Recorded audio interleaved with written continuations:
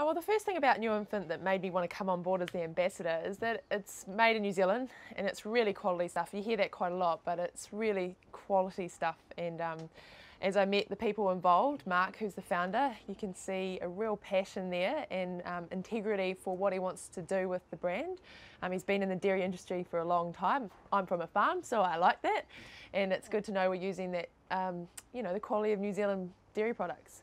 Um, and then further, met with Dr. Korish, and I don't think that you can go past a doctor's recommendation. And it sounds like he's done a, a lot of research into what's in the product, um, in the formula, all the ingredients, and just making sure that um, the babies are getting exactly what they need. So there was just so much to it. And by the end of sort of, it's like a presentation, I guess, it was like, wow, this is amazing, and I would love to be involved.